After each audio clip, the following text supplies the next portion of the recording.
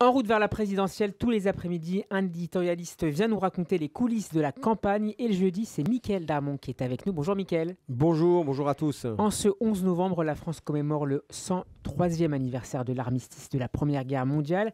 Cet après-midi, Hubert Germain, le dernier compagnon de l'Ordre de la Libération euh, qui a combattu au sein des forces françaises libres, euh, sera inhumé au Mont Valérien. Mickaël, quelle est la portée symbolique de ce dernier 11 novembre avant l'élection présidentielle? Eh bien, Comme vous l'avez dit, avec justement l'entrée euh, dans le mémorial, euh, donc la crypte du souvenir et de la résistance du Mont Valérien, qui est un lieu extrêmement puissant, euh, et, eh bien c'est justement, je dirais, la fusion des mémoires, puisque le, 11 novembre, traditionnellement, préfigure et commémore donc une date liée à la Première Guerre mondiale.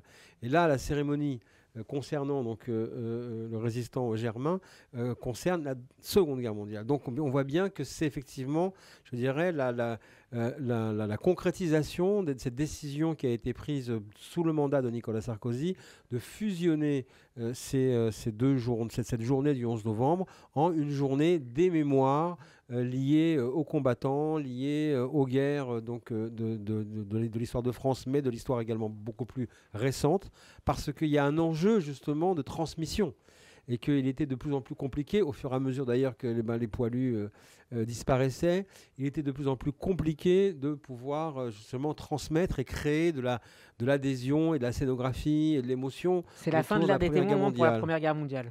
C'est absolument, c'est la fin, je dirais, des commémorations liées à la Première Guerre mondiale. Maintenant, il y a eu aussi il reste aussi les sites, hein, bien entendu, euh, du côté de, Verdun, dans l'est de la France.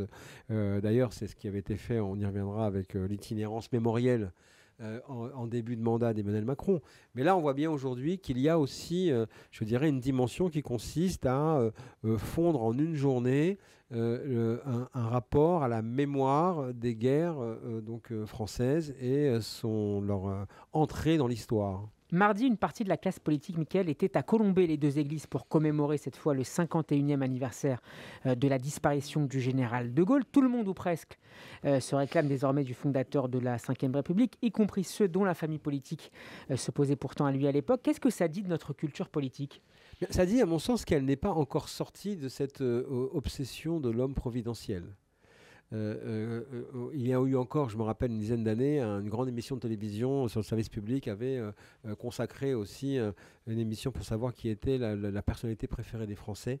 Et une fois de plus, alors qu'on on était à, l'orée du XXIe siècle, c'était encore le général de Gaulle qui, qui sortait encore aujourd'hui. C'est cette figure. La figure de, référence. De, référence, de, de cette capacité à avoir non seulement bon, résisté au moment où justement il n'y avait plus de résistance et à, être, avoir joué le contre-courant, avoir créé une rupture vis-à-vis, on va dire, de la, de la, du dogme euh, à l'époque euh, euh, qui était en, voilà qui s'imposait, c'est-à-dire la France de Vichy, puis ensuite être revenu au, pouvoir et créer la Ve République, parce que la Quatrième République était à bout de souffle, donc avoir créé un, système nouveau en, en, jetant euh, un ancien système, avec une logique, je dirais, à la fois combinant une forme d'autoritarisme, d'autorité, de euh, euh, singularité la France, d'exception française. C'est tout cela qui aujourd'hui continue à marquer considérablement,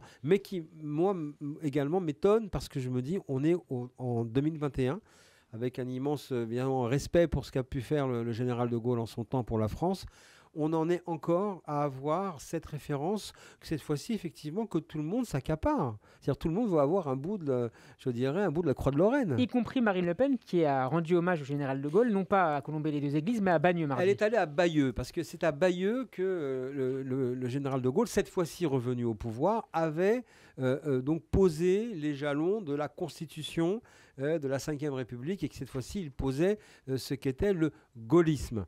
et, et le gaullisme aussi, euh, au-delà de, de, de, l'action euh, du De Gaulle chef de guerre, ensuite le De Gaulle président, est celui aussi qui a, euh, je dirais, poser les grands jalons de la grande fiction française, comme je l'appelle, c'est-à-dire celle liée autour de la réconciliation, qui consiste à dire que les Français avaient gagné la guerre, que les Français avaient résisté, que le paradis social français était euh, euh, finançable ad vitam aeternam, qu'il y avait une exception française. Et c'est tout ce sentiment de singularité de la France que le général de Gaulle a porté. Et je pense que c'est pour cela, quelque part, qu'il y a encore une référence permanente à son égard. C'est par rapport à un sentiment peut-être de déclin, d'un déclassement euh, d'une France qui est au fond une puissance moyenne, puissance médiane. Il y a une référence à quelqu'un qui avait porté la France au-delà de ce qu'elle pouvait être, mais la réalité s'est imposée beaucoup plus cruellement avec le temps. Voilà pour Marine Le Pen. Quant à Eric Zemmour, il s'est fendu d'un nouveau message sur Twitter. Oui, lui, il a été uniquement, euh, euh, il s'est exprimé sur Twitter. Il ne s'est pas rendu à Colombey les deux églises. Il avait précisé que finalement il ne le ferait pas, et en, en fustigeant tous ceux qui s'y rendaient, en disant que tous ceux tous ceux qui s'y rendaient auraient été euh, euh, déclarés des, traîtres par euh, le général de Gaulle. Je pense qu'il peut s'inclure aussi, je pense que le général de Gaulle aussi n'aurait pas reconnu en Éric Zemmour son fils spirituel malgré ce qu'il prétend. Ce qui est tout à fait remarquable, Michael Darmon, c'est qu'Emmanuel Macron a également choisi, comme par hasard, ce jour du 9 novembre pour s'exprimer devant les Français. Et oui, la, politique reste un métier. Il a fini par en acquérir les codes. Le 9 novembre, ce jour-là, eh bien, il s'est exprimé le soir devant 20 millions de Français, privant ainsi par là même tous ses opposants euh, de reportages euh, sur euh, les 20 heures sur leur journée à Colombey les deux églises, en tout cas de longs commentaires. Et lui, il s'est exprimé au moment où il a choisi à la fois de présenter son bilan, bien évidemment d'avoir une mesure sur la crise sanitaire, mais on a bien compris que ça ne trompait personne, parce que sur les 27 minutes de l'allocution présidentielle, 3 ou 4 minutes ont été consacrées à la vaccination, au rappel, à la crise sanitaire, et le reste a été un long exposé de son bilan. Et en se projetant sur euh, donc euh, la, suite, sur la campagne présidentielle, sur l'après-élection et avec un positionnement très à droite. Quel est le rapport, pour terminer, Michael, d'Emmanuel Macron à l'histoire, à la mémoire de certains événements importants de l'histoire de France, du bicentenaire de la mort de l'empereur Napoléon Ier à la guerre d'Algérie? Alors lui, il considère que le temps long est un temps très important parce que c'est le temps qui matrice sa société. il est celui qui a critiqué, d'ailleurs, c'est le début de son, de son diagnostic qui est au début de sa conquête présidentielle il a critiqué justement les 30 glorieuses posées par le général de Gaulle pour dire ça a joué comme, euh, comme un, boomerang finalement. Mais le rapport à, à, cette histoire, notamment concernant effectivement Napoléon, euh, a été un moment très important de son quinquennat parce qu'il considère qu'il fallait quand même euh, célébrer un, empereur, mais sans en donner vraiment uniquement une seule partie et en donnant l'ensemble du, personnage qui avait été euh, quelqu'un qui avait fait la promotion de l'esclavage, qui avait été autoritaire, qui avait mis l'Europe dans un bain de sang. Et donc c'est comme ça qu'il a forgé sa fameuse formule euh, d'un en même temps historique en célébrant Napoléon et en disant euh, qu'il qu'il fallait retenir le, le pire de l'empire et le meilleur de l'empereur.